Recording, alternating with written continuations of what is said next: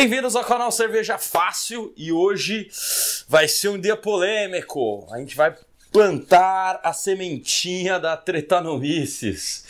Hoje a gente vai tentar fazer cerveja com grãos no mínimo de tempo possível. A gente vai cortar todas as beiradas para chegar ao core básico e tentar bater um recorde. Não sei se vai ser o recorde mundial, provavelmente vai ser o nosso recorde aqui, enfim. A gente sabe que o Biabio já é bem rápido, aqui na média, é... quanto tempo, Edu? Quatro horas? Três e meia. Três e meia, né? Mais ou menos, assim, porque a gente está fazendo um volume de 10 litros tal, apesar do nosso fogão não ser industrial. Já é um tempo muito bom, cara. Mas assim, por diversão, a gente vai testar um, um método bem legal que o pessoal de um blog que eu adoro, eu acompanho bastante os caras, eles começaram um podcast agora também, chama Brulosophy, tá?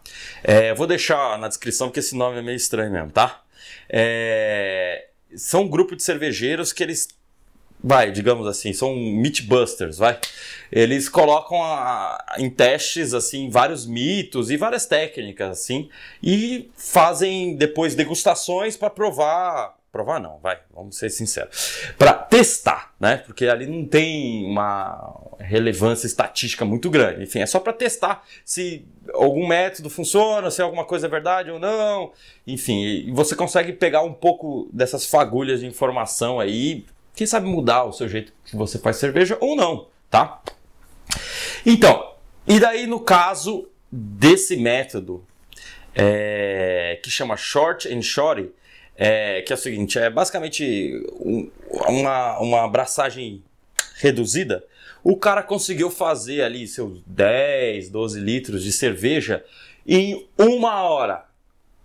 Pô, qual que é a mágica, né?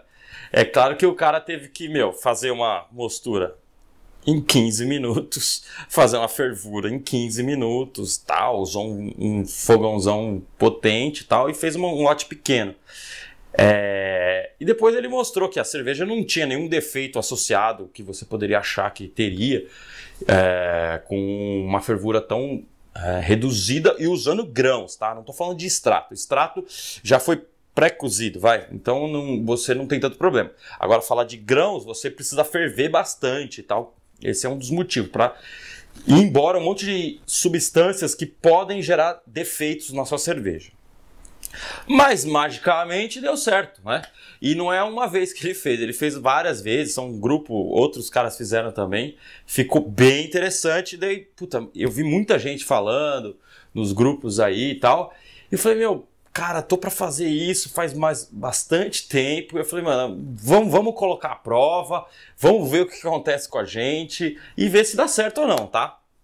Então, assim, é, a gente literalmente vai ligar a câmera, claro que não é um time lapse, tá? Eu vou ir falando o tempo que tá, eu mostro, tal, mas enfim, não vou conseguir em uma hora porque o nosso fogãozinho não é tão bom. Mas a gente vai contar com um acessório para ajudar um pouco, tá? Então, a gente vai esquentar a água, mesmo esquema que eu faço sempre, tá? Aqueles 10 litrinhos para mostura, jogar os grãos e, e, e depois fazer só 15 minutos de mostura, mexendo bem e tal e passar para fervura rapidamente e jogar lúpulo é uma quantidade maior, porque é uma fervura curta. Tá. E beleza, a receita que a gente vai fazer hoje é uma American Blonde Ale, ou seja, uma cerveja bem tranquila, bem é, nada complexa tal, mais para drinkability mesmo. É, a gente vai usar boa parte de, de malte Pale Ale e um pouco de malte Munique tá? Eu vou meio que apelar, tá? Eu não vou usar malte Pilsen como o cara usou na receita lá, enfim.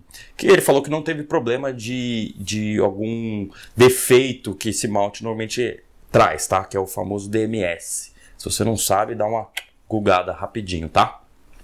Então, eu vou apelar um pouco, usar um malte que não apresenta é, tantos problemas para esse, esse lado, tá? Então esse malte pale, malte munique e um pouquinho de cara gold só para dar um ajuste na cor, deixar um, um blonde mesmo, tá? De lúpulo a gente vai com cascade para dar um cítrico, um floral bem legal. É, uma adição ali no começo e depois ali no final, tá? De levedura a gente vai usar ó, a English Ale do pessoal da Levtech, tá? É, ela, apesar de English e tal, mas nesse caso, essa aqui é uma, uma cepa bem limpa inglesa, ou seja, ela, é, ela seca bastante a sua cerveja, não dá tantos aromas assim, então é pau para toda a obra, tá? Então vai funcionar numa American Blonde Ale tranquilamente, vai deixar ela sequinha, bem legal, tá? Então vamos lá e comecem os cronômetros. Beleza, estamos aqui já. A água está em temperatura ambiente, aqui no. Né? Tá até desligado. É, a gente já vai ligar é, o nosso fogãozinho. Ele demora um pouco, tá? mas ele pega, ele vai, ele funciona, né? Mas hoje eu vou apelar um pouquinho. Isso aqui é um mergulhão, o pessoal chama de ebulidor, tá? Que é uma resistência basicamente, tá? Plugou na tomada, tal, ele vai ajudar a dar uma acelerada. Não que isso aqui vai ser suficiente para você não usar o fogão. O objetivo disso é só ajudar um pouquinho ou fazer uma xícara de café, tá? Então eu vou colocar na tomada e a gente vai tentar tapar aqui e tocar o pau, beleza? Ó, tomadinha. Tem que deixar ele mergulhadinho. E eu vou dar uma cobridinha aqui e começar o nosso cronômetro. Vamos ver. Só que só vai parar lá no final. Daí eu mostro quanto que já deu, beleza? Vamos lá. Opa, ó. Já estamos aqui em quase 70. Eu vou tirar o mergulhão. Isso aqui realmente ajudou, viu? O começo estava meio devagar tal. E a gente viu que não estava encaixado direito na tomada. Mas depois encaixou o negócio. Foi bem rápido, né? Aqui o fogo eu vou desligar também. É... Aqui tá por volta de 70, vou colocar os grãos, fazer a mostura em 66, 65, por aí, tá? Já tá ótimo. Vamos lá. Vou colocar aqui nosso green bag. Amarrar ele bonitinho e pegar nossos grãos. Beleza, vamos lá. Coloquei. Vamos colocar nossos maltes da receita e começar essa mostura expressa. Quero serem rápido. Normalmente eu jogo tudo, depois eu vou mexendo, porque daí já ganha tempo, né?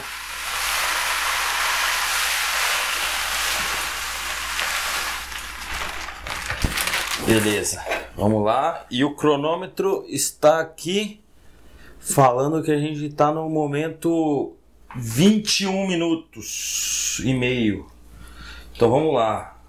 Então a gente vai parar a mostura daqui a 15 minutos, beleza? Então, nessa hora, para tentar ajudar a conversão, eu vou dar umas mexidas boas aqui, tá? Vou ficar mexendo bastante, aliás. Normalmente na, na mostura normal que a gente faz, eu deixo o tempo ganhar a conversão, tá? Mas aqui, como o tempo é muito curto, eu vou ficar meio que mexendo e tal. Não vou precisar ficar ligando fogo, nem o, o mergulhão, tá? Não recomendo usar o mergulhão na mostura para subir em temperatura, porque o grão pode queimar, tá? Na fervura pode usar. Então vou continuar aqui. Tá na nossa temperatura já. Já voltamos. Beleza, 15 minutos, 16 agora vai. É, terminou a mostura, dá pra ver que a cor pegou bem já. Já tá a cor praticamente final que vai ficar da mostura. Eu vou tirar uma amostra aqui, curiosidade, né? E, e medir a densidade dessa breja, né? Da mostura, tá? Não é a densidade final. É, e agora vou fazer uma lavagemzinha rapidinha e, e já tocar para fervura, tá? Porque o tempo urge, beleza? Vamos lá. E já também tacar fogo aqui para ganhar mais tempo ainda, tá? Aqui eu vou tentar começar a fervura não com um volume normal que eu já começo sempre nos vídeos, tá? Que é 14 litros, 14 litros e meio, quase 15, vai? Aqui eu vou precisar começar com 12, 13 no máximo, porque eu vou ferver muito pouco, cara. Eu não vou perder na fervura muita água, então tem que ser bem rápido. Beleza, vamos tacar fogo aqui já. E ligar o mergulhão também para acelerar o processo, tá? Fazer uma lavagemzinha rapidinha e já é. Nossa, já chegou aqui, até transbordou, chegou na fervura. Então, vamos lá é, eu vou colocar a 15 minutos isso aqui, ou seja, a 15 minutos é no começo de uma fervura de 15 minutos, tá? É 20 gramas de cascade e a 0 minutos, a 0 minutos de 15 minutos de fervura, eu vou colocar o resto de cascade, tá? Então vamos lá. Já começou aqui. Eu vou tentar deixar bem intensa para evaporar bastante, para sumir qualquer precursor de DMS, tá? Vamos lá. Passa rápido o tempo, né? Terminou aqui. Eu vou desligar. Evaporou até que pouquinho e tal. Eu vou colocar a nossa última adição e o chiller para resfriar rapidinho. Beleza? Vamos lá. Vou ligar a água já.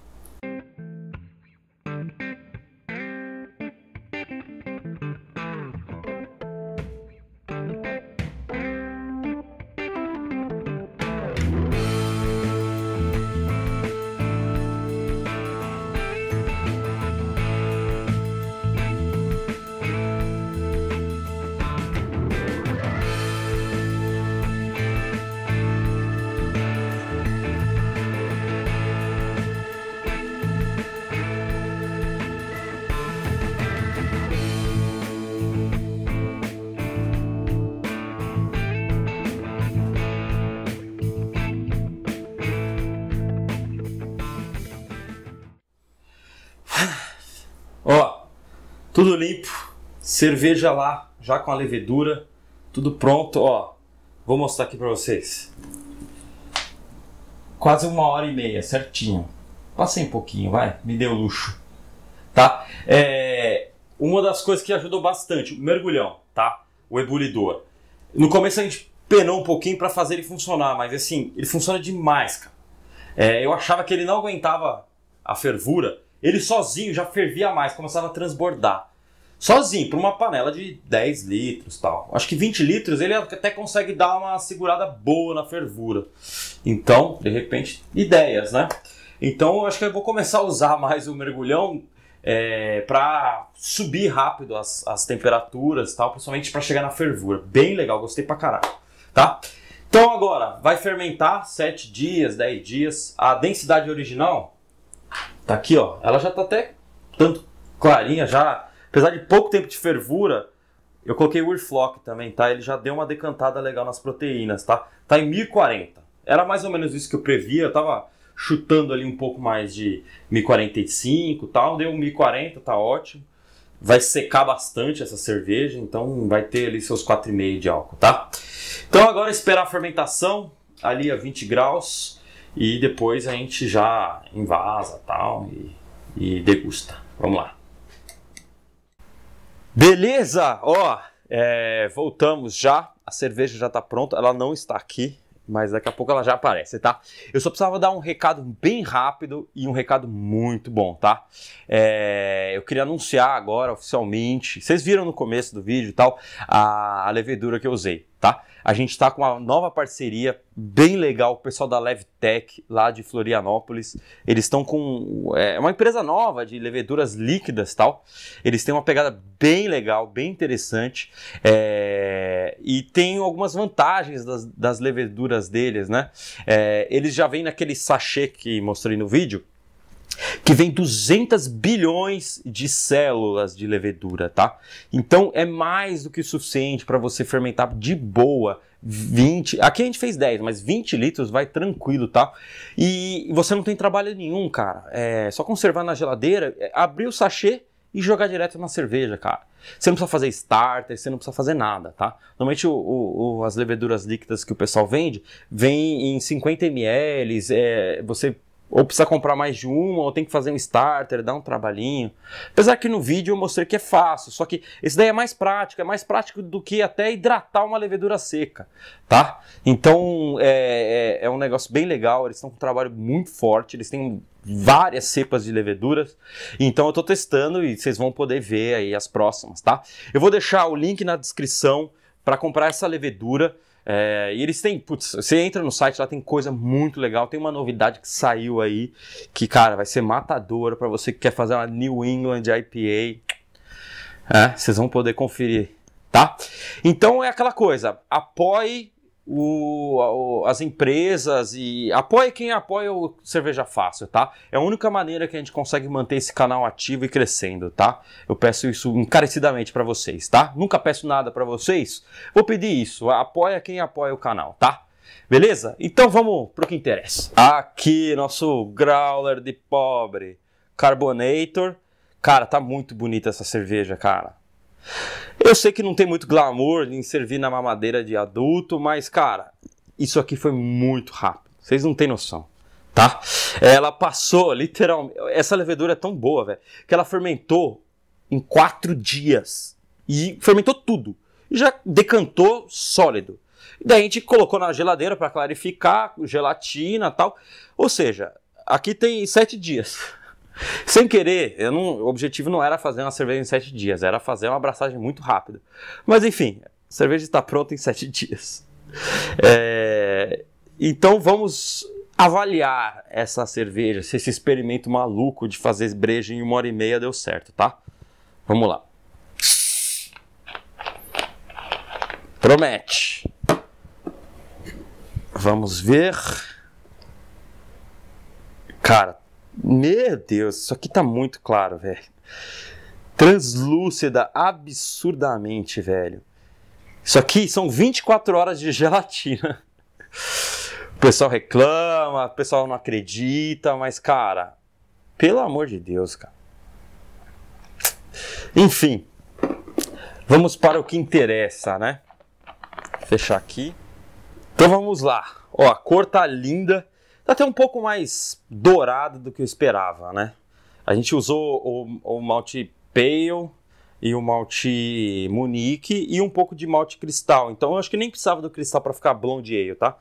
Mas enfim, bem translúcida, bem legal. Carbonatação bem legal. Apelei usando isso aqui, mas beleza, vamos lá. Cara, uma arominha de, de malte, casca de pão, um pouco de caramelo. Nossa, velho. Eu acho que ficou boa, hein, pessoal? Vamos ver, né?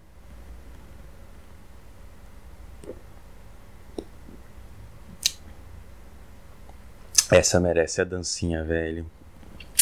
Caraca. Ó. Hum. Ó, falar pra vocês eu tava com um receio muito grande de fazer esse experimento. É, eu falei, meu, eu vou fazer cagada, eu vou ensinar a galera a fazer cagada, não vai ser legal tal. Eu, sabe, parece que tudo vai dar errado. Mas tá muito boa a breja, velho. O que, que você poderia esperar de uma breja feita é, com uma mostura de 15 minutos, com uma fervura de 15 minutos? Né? É, você esperaria o quê? Ó, só vai ter, vai ter gosto de amido a cerveja, porque vai ter. não converteu os açúcares na mostura. Vai ser, tipo, nossa, vai comer farinha, comer maisena, né? É, maisena líquida. Ou vai ter é, defeitos na. É, tipo, DMS, ou vai ficar turva pra caramba, porque você não teve uma fervura intensa, não coagulou as proteínas, vai ficar tudo em suspensão. Cara, eu tentei, tentei fazer do jeito errado, mas deu certo, cara.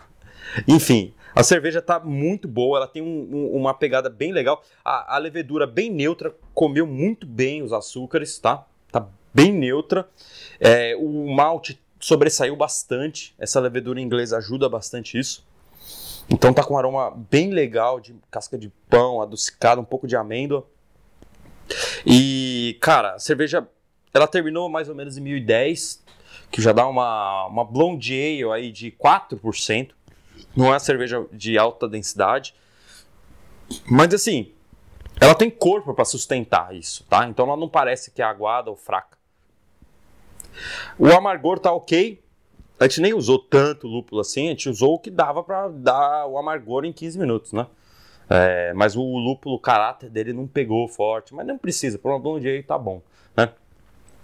Enfim, cara, eu não apostava, mas enfim, o pessoal do Brulosophy, é, esse blog aí é fantástico, cara. Eles já estão no quinto, sexto experimento sobre esse método, Putz, é sensacional. Enfim, mas antes de terminar esse vídeo, eu preciso fazer um disclaimer. por favor, cara, você que está começando a fazer breja ou nem fez a sua primeira e, e, viu esse vídeo, ah, nossa, caramba, vou fazer breja em uma hora e meia, depois de sete dias está pronta. Nossa, Leandro, valeu, vou comprar os insumos agora. Por favor, não faz isso, tá? Não repita esse experimento em casa, tá? É, não é assim o que é você aprende a fazer cerveja, tá? Isso aqui é uma desconstrução, isso aqui é educativo, é experimentativo, não tem nada a ver para quem tá começando, tá? Para quem tá começando, tem que, tem que fazer do jeito bonitinho, tem que fazer do jeito certo, tá? Aqui é o jeito errado, beleza? Isso aqui é, provavelmente deu certo porque assim, eu já conheço o meu equipamento, eu sei como é que se faz cerveja, eu já faço cerveja há três anos, daí eu sei onde que eu posso cortar, fazer os atalhos, tá? Você está começando? Por favor, não faz isso, tá? E se fizer, não reclama comigo, tá? Beleza? Então, a galera que já faz aí, eu vi muita gente comentando que acompanha o, o, esse blog, o Brulosophy, tava meio na dúvida, será que fica bom? Cara, fica bom. Faz aí, o desafio está lançado, mas ó, para quem já faz, tá? Quem tá muito no começo, só fez 5, 6 levas de breja, não recomendo, tá? Não faz isso, tá? Beleza? A brincadeira foi muito divertida, a breja tá muito boa. Hum. Se eu apresentar essa breja para qualquer pessoa desavisada, primeiro, ela vai achar que é uma breja comercial. Segundo, ela não imaginaria que eu fiz isso em tão pouco tempo, tá? Então, cara, é um tapinha nas costas. Parabéns. Beleza? Então, é, é isso. Dá uma checada lá no, no site da Levtech com as leveduras deles. Tem coisa muito bacana que vocês vão gostar. E, meu, ainda bem que eu fiz rápido, então tem bastante breja e, e foi uma leva muito rápida também de se fazer. Tem coisa para tomar essa semana, beleza? Um abraço e boas brejas.